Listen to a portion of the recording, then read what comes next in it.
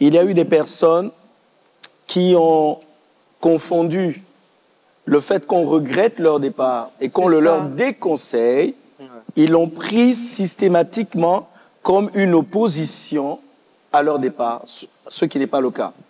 Euh, J'ai eu plusieurs qui sont partis et une personne avait fait un live pour dire qu'on avait, on l'avait empêché de partir. Alors que j'ai des mails de nos échanges où je lui dis clairement, tu prends une mauvaise décision. Je te considère comme une fille de cette maison, mais je respecte ta décision et je te laisse partir.